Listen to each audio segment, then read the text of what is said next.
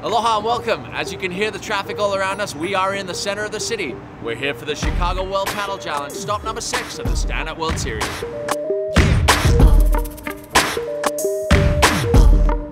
Oh yeah, I mean it's always great to come to the city. I mean look at it, it's awesome. It's got nothing like this back in Australia, so it's great to be back here again for the second year with a great bunch of people.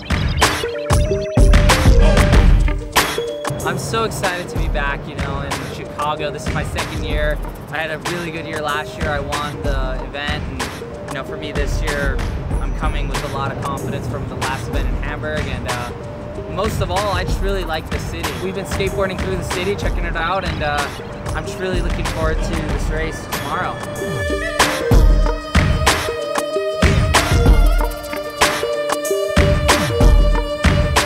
It's always good to be back in the Windy City and uh, the lake that looks like an ocean.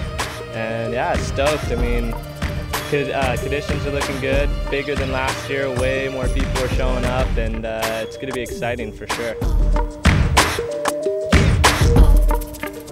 Last year, first time here, and I'd never been to the Great Lakes, and I think Lake Michigan really blew us all away, you know, especially what the cityscape is against the water and the lake, and I, I mean, we had a, pretty much had a hurricane blow through on day two, so um, there was no shortage of drama at all, and it was complete excitement. And yet again, the sunshine's come right out. So hopefully, we, we get the best of Chicago and Michigan again.